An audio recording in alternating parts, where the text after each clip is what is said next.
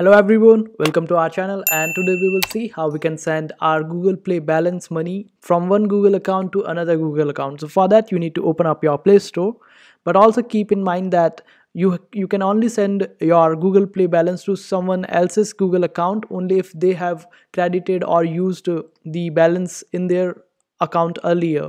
So what you have to do is just open up Play Store and after that click on your profile and then click on help and feedback and after that click on contact us over here.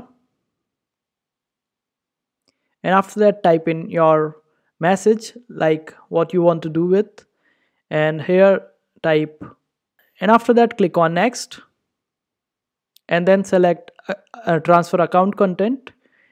And here click on it. And then select google play apps. And then click on next step.